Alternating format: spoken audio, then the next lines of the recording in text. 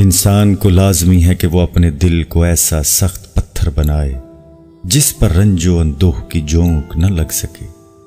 पत्थर के एक टुकड़े के लिए खूबसूरत मजस्मे की जो हसीयत है, वही हसीयत इंसानी रूह के लिए तालीम की है।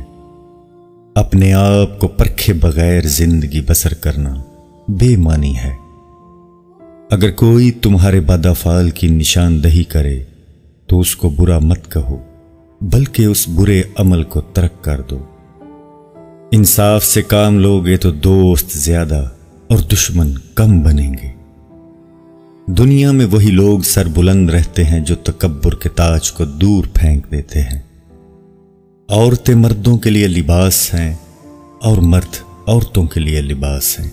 मतलब कि जिस तरह लिबास इंसान के जिस्म के साथ मिला हुआ होता है, इसी तरह मियाँ बीवी भी एक जिस्म की मानिंद है। अगर इंसान की तखलीक एक ही मिजाज से होती तो कोई शख्स भी बीमार न होता, क्योंकि किसी मुखालिफ का वजूद न होता, जो बीमारी का सबब होता। तंग नज़र वो है, जिसे दो बुराइयों में से एक को मुंतखब करना पड़े तो वो दोनों को इख्तियार कर लेता है।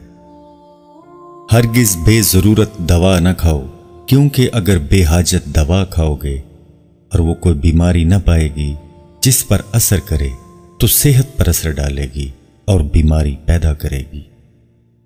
अगर तुम सेहत की कदर करोगे तो बीमारी तुमसे दूर भागेगी।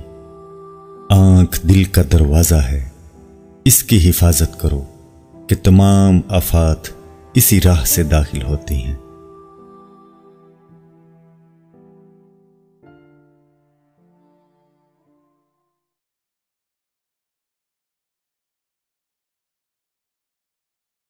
गुस्सा कभी कभी काबिल से काबिल इंसान को भी बेवकूफ़ बना देता है।